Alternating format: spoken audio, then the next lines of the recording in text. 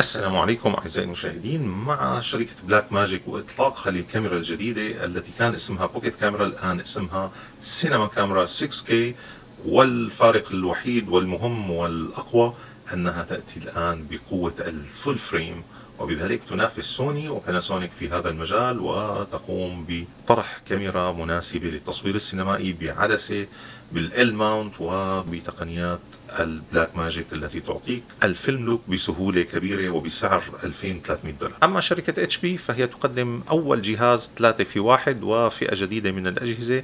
جهاز متحول من تابلت إلى لابتوب إلى desktop في نفس الجهاز وبسعر هائل 5000 دولار.